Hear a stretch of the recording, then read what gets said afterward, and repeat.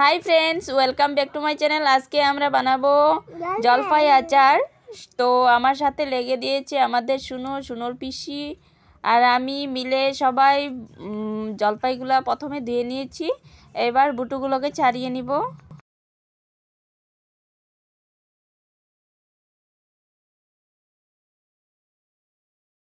খুব সহজ পদ্ধতিতে আমি আচার বানিয়ে দেখিয়ে দিব। এই আচারটাকে আপনারা এক বছর সময় অবধিও সংরক্ষণ করে দেখতে পারবেন। আমি এটাকে কোনো রোদে দেওয়ার ঝামেলা ছাড়াই বানাবো আজকে আচারটা। তো বন্ধুরা, ভিডিওটা সম্পূর্ণ দেখবেন। ভালো লাগলে একটা লাইক আর শেয়ার করে দেবেন। আর আগের ভিডিওগুলো পাওয়ার জন্য আমার চ্যানেলটাকে অবশ্যই সাবস্ক্রাইব করে নেবেন। তো দেখুন, আমার জলপাইগুলো, ধোয়া আর বটুগুলো ছাড়ানো হয়ে গিয়েছে। এবার আমি এটাকে কিছুক্ষণ রেখে দেব রোদ্রে। জলপাইতে জলটা থেকে গেলে খুব একটা ভালো টেক্সচার দিবে না। তো এবার আমি নিয়ে যাব এটাকে রোদ্রে শুকিয়ে দিব। তারপর দেখাচ্ছি। এখানে আছে দেখুন আমার কাছে দফলা লঙ্কা। এরকম দফলা লঙ্কা কয়েকটাই আমি নিয়েছি ছ সাতটা আছে। দফলা লঙ্কাগুলো কেটে নিব।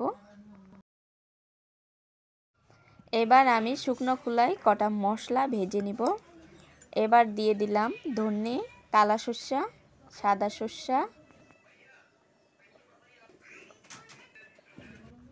নিয়ে নিয়েছি মৌরি। মৌরির পরিমাণটা আর ধনের পরিমাণটা একটু বেশি দিব। বাকি মশলাগুলো একটু কম কম দিব। আর দিয়েছি জৈন, এবার দিলাম মেথি, আর এ দিচ্ছি কয়েকটা কালো জিরা। তো এগুলোকে আমি হালকা করে ভেজে নিব। আঁচটা কম দিয়ে লাইট কালারে ভেজে নিব।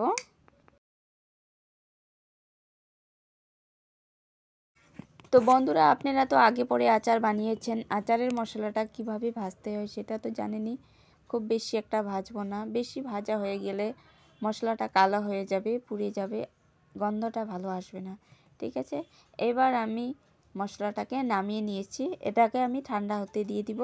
আর দিয়ে দিব এবার কটা শুকনো লঙ্কা, শুকনো খোলাতে ভেজে নিব।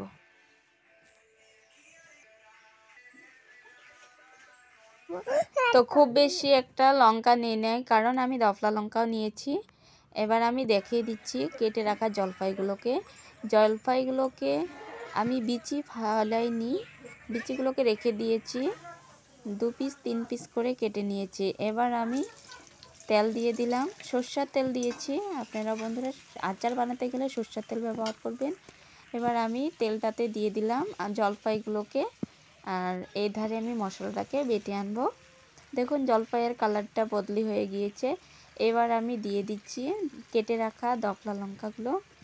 আর দিয়ে দিব এবার হলুদ। আর দিয়ে দিচ্ছি লবণ।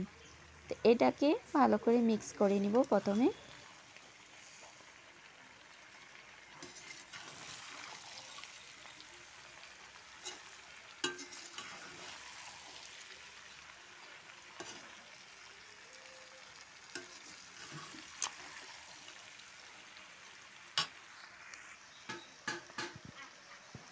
এবার আমি মিলিয়ে দিব বেটে রাখা মশলাটা। মশলাটা আমি খুব বেশি একটা মিক্স করিনি। অল্প আগড়া আগড়া রেখেছি, গোটা গোটা রেখেছি।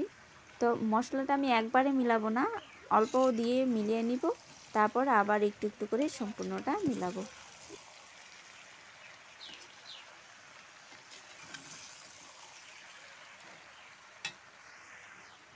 জলপাই গাছ একটা আমাদের পাশের বাড়িতে রয়েছে। আমি সেখানে গিয়েছিলাম জলপাই ডাল কেটেছে বলে বলেছিল। এবার আমি দিয়ে দিচ্ছি এক কাপ চিনি। কারণ আচারটা খুব টক হবে জলপাই তো অনেক টক হয়। তাই অল্প একটু চিনি দিলাম আর এবার দিব আচারটা ভালো থাকার জন্যে ভিনিগার। এক কাপ মতন ভিনিগার দিব। রঙটা আরেকটু সুন্দর হওয়ার জন্য এবার আমি দিয়েছি লাল লঙ্কার গুঁড়া। আর দিচ্ছি এবার আস্ত জৈন। আর এবার কয়েকটা কালো জিরা দিয়ে দিলাম। আর দুটো শুকনো লঙ্কা দিয়েছিলাম আমি। তো আমার আচারটা বানানো হয়ে গিয়েছে। আমি এটাকে নামিয়ে নিয়েছি। দেখুন, খেতে খুব ভালো লাগবে এটাকে। বন্ধুরা, একবার বাড়িতে নিশ্চয়ই ট্রাই করবেন। খুব খুব বেশি কিছু উপকরণ লাগে না। সাধারণ মশলা দিয়েই হয়ে যাব এরকম একটা টেস্টি আচার।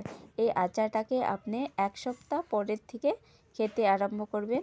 খুব ভালো লাগবে কারণ লগে লগে খেলে সেই সব কিছুর মিশ্রণটা পাবেন না। হয়তো এক সপ্তাহ রেখে এটাকে খাবেন, খুব ভালো লাগবে। আর গরমের দিনে পেলে তো আর কথাই নেই, খুব খুব মজা লাগবে। তো থ্যাংক ইউ বন্ধুরা এতক্ষণই ভিডিওটা আমার দেখার জন্যে।